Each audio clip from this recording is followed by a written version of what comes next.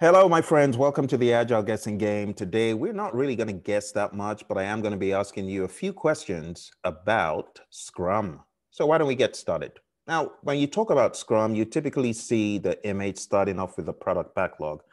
But how does the product backlog get put together? Well, one way it could get put together is by the business requesting for stuff. The business has needs. And those needs, as you can see here, are funneled through the product owner. Now, let's talk about the product owner. The product owner is accountable for maximizing the value of the product resulting from the work of the Scrum team. Now, how this is done could vary from organization to organization.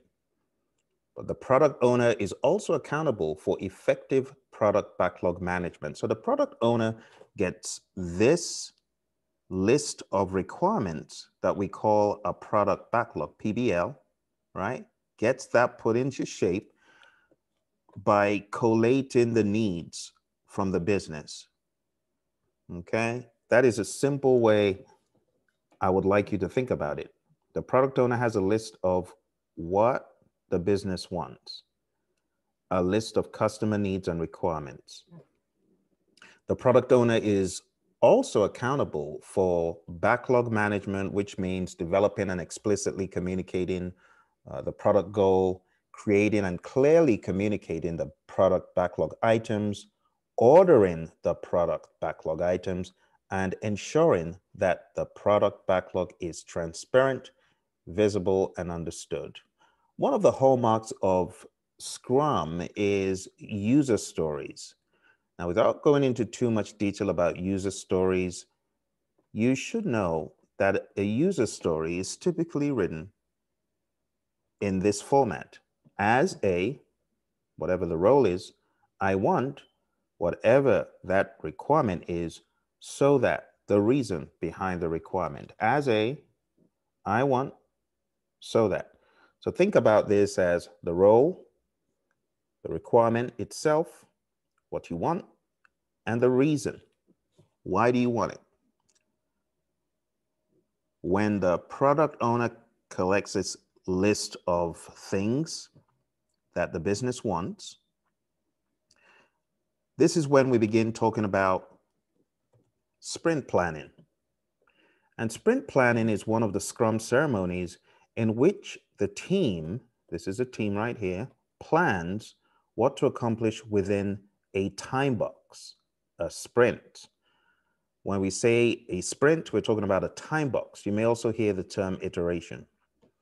So the Scrum team consists of developers, people doing the work, not necessarily coders, but people doing the work, the product owner as well, and the Scrum Master. So the team collectively participates in sprint planning. And sprint planning, according to the Scrum Guide, initiates the sprint by laying out the work to be performed for the sprint. This resulting plan is created by the collaborative work of the entire Scrum team. So the entire Scrum team decides what needs to be done within that time box. And through sprint planning, a subset of the product backlog is derived, and that is called the sprint backlog. So you see the sprint backlog right here, and it's a list of what is meant to be done within the sprint. Now, the sprint is typically two weeks in a lot of organizations, but in other firms, it's quicker. Sprints are the heartbeat of Scrum, where ideas are turned into value. They are fixed length events of one month or less to create consistency. A new sprint starts immediately after the conclusion of the previous sprint. Now, if you're putting a number on sprints according to the Scrum Guide of 2020 November, you could say a sprint is anywhere from one to four weeks four weeks or less, but typically two. That is not to say sprints could not be shorter. So the sprint backlog fuels, of course, the sprint, And this is where work is done. One to four weeks, usually two weeks. One of the hallmarks of Scrum is the daily Scrum. And the daily Scrum has a purpose to inspect progress towards the sprint goal and adapt the sprint goal as necessary, adjusting the upcoming planned work. The Daily Scrum is a 15 minute event for the developers of the Scrum team to reduce complexity. It is held at the same time and place every working day of the sprint. You might also hear this referred to as a daily stand up meeting.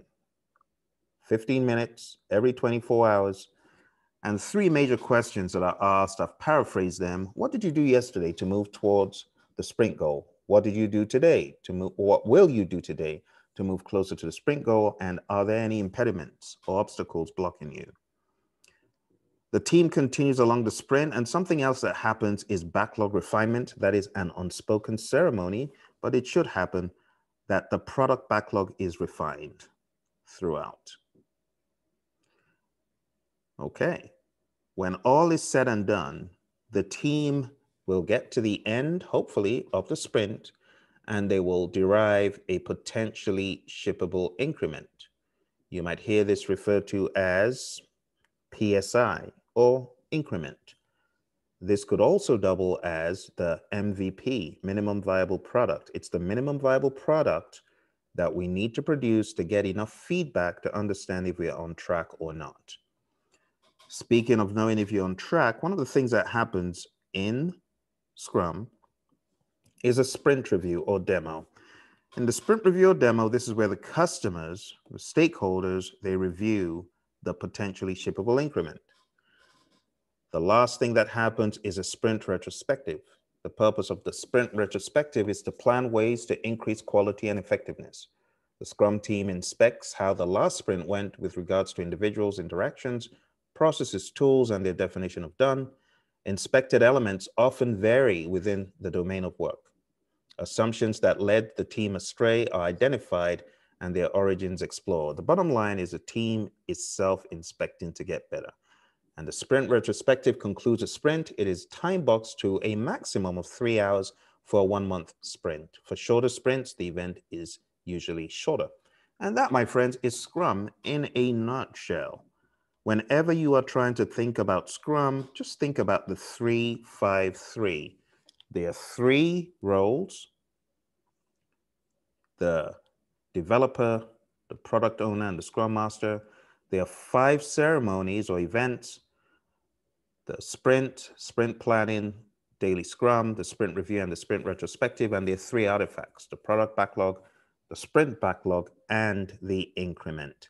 I hope this helps explain Scrum to you. Remember, it's a big part of what organizations do in the world of Agile. In fact, most organizations who say they're Agile 70% of those organizations use Scrum. So Scrum is important. I hope this helps. You take care. Speak to you soon.